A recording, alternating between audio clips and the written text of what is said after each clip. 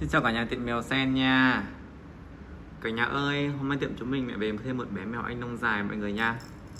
Một chiếc mèo màu cam rất là xinh và đáng yêu nè. Ôi, mũi hồng, mắt tròn, lông màu cam đẹp, bây giờ đẹp nha.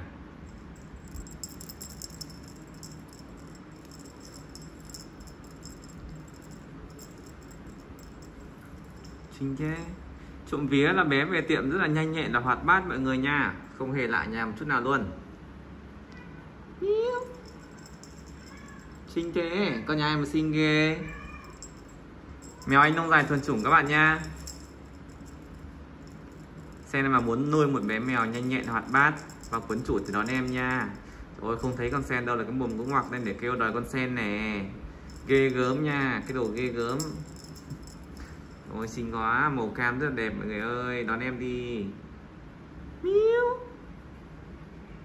Lông rất là xù và dày nha mọi người nha.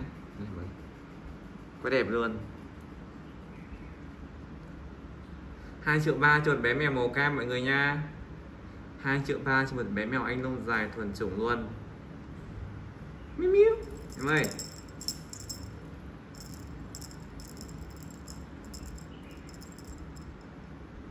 cưng cưng cưng cưng.